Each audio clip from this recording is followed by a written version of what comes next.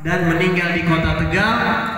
Muridnya pun datang ke Indonesia, Habib Muhammad bin Idrus al-Habsyi dan beliau mengadakan haul gurunya. Itu sejarah haul pertama kali di Indonesia.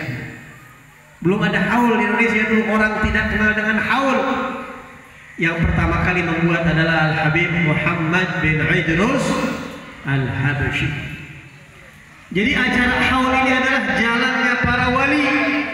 Ini adalah amalan kekasih Allah untuk kita mengenang almarhum orang-orang soleh yang terdahulu sebelum kita. Hadirin yang dirahmati oleh Allah Subhanahu wa taala. Malam ini kita memperingati haulnya Kiai Haji Hasani bin Kiai Haji Nawawi.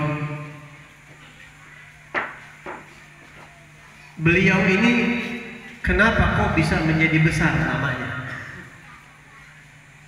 Kalau tidak soleh, tidak mungkin punya murid-murid yang bakti sampai ke Kalimantan.